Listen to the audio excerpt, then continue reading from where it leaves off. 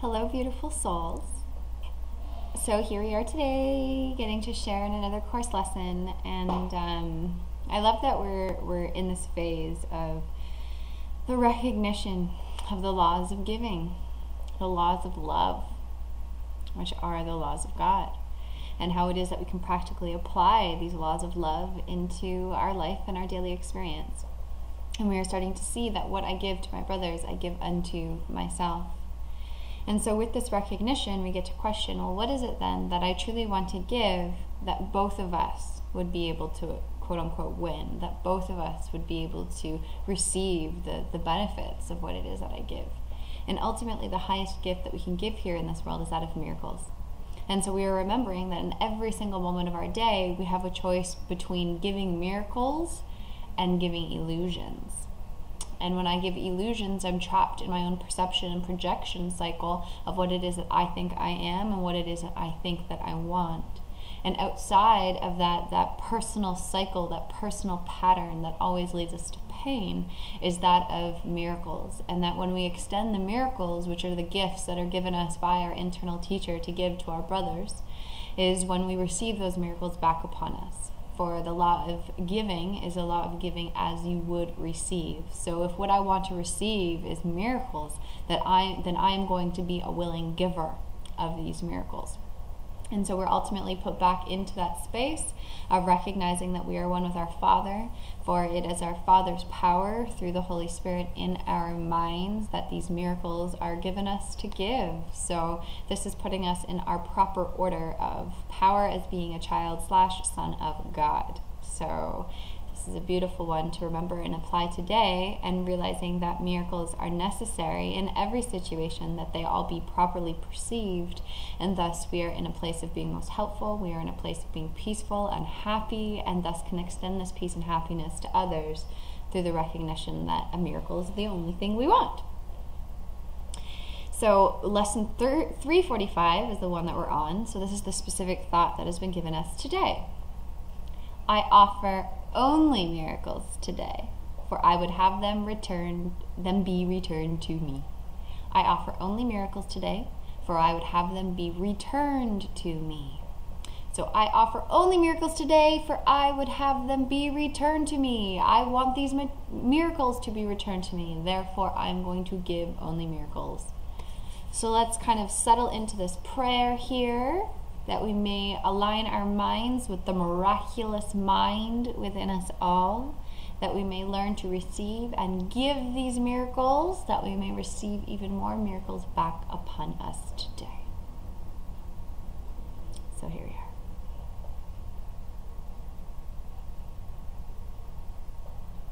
Father, a miracle reflects your gifts to me, your Son and everyone I give returns to me, reminding me the law of love is universal. Even here, it takes a form which can be recognized and seen to work. The miracles I give are given back in just the form I need to help me with the problems I perceive. Father, in heaven it is different, for there there are no needs. But here on earth, the miracle is closer to your gifts than any other gift that I can give. Then let me give this gift alone today, which, born of true forgiveness, lights the way that I must travel to remember you.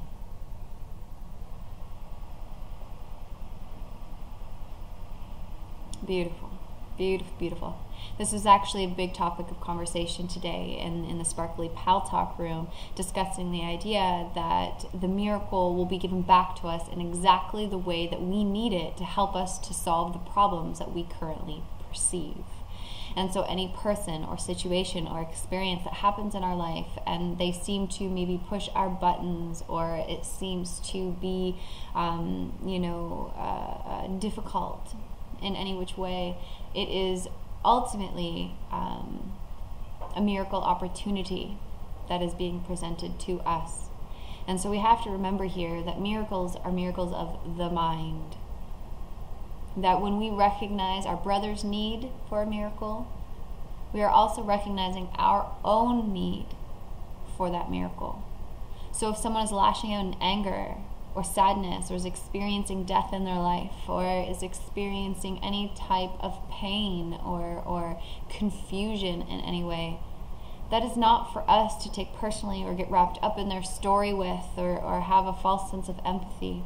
But in fact, what it is, is for us to recognize their call to love, which is ultimately our own call to love.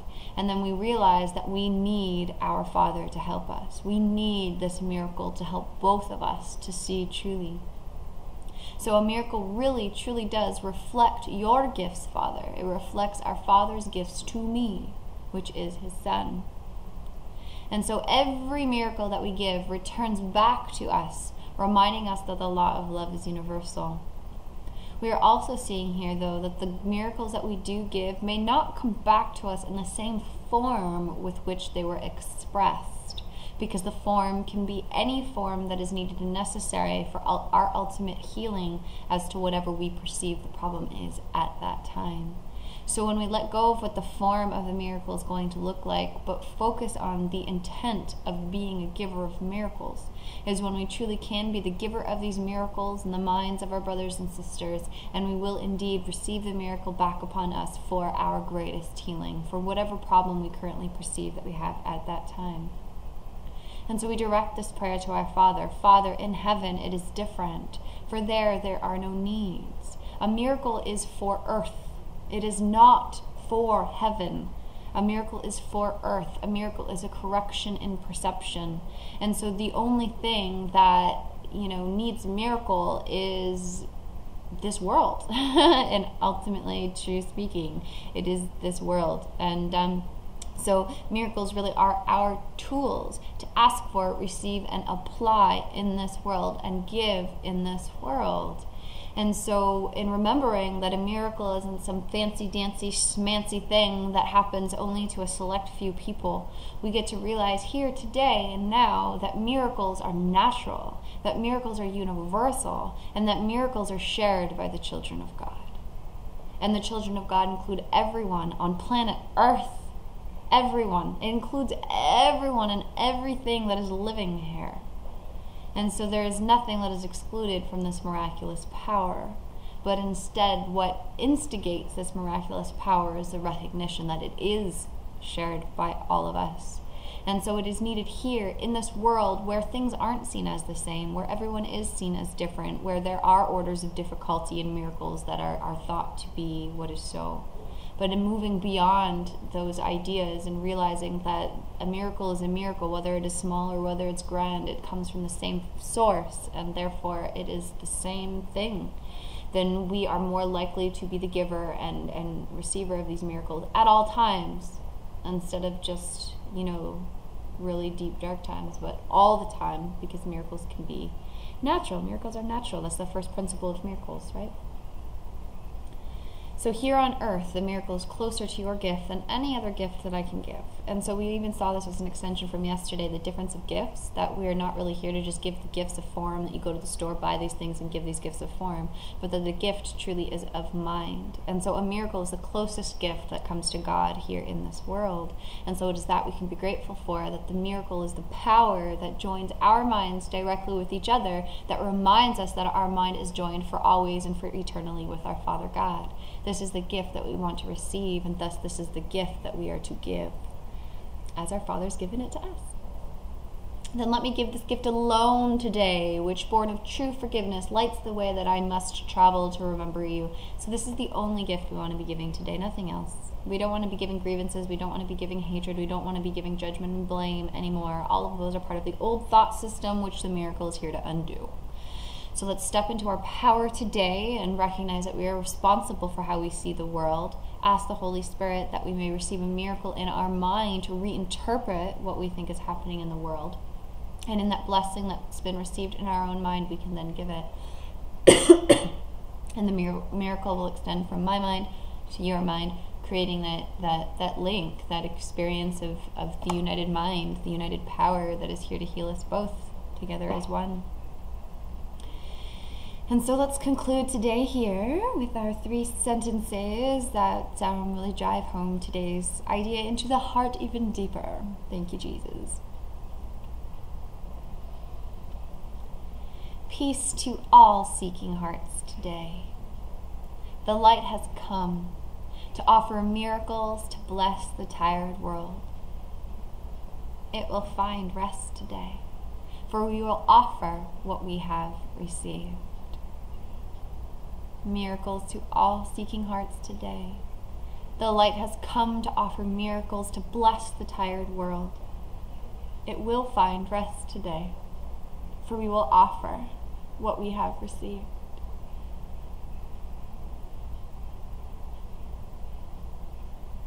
And so it is, beautiful souls.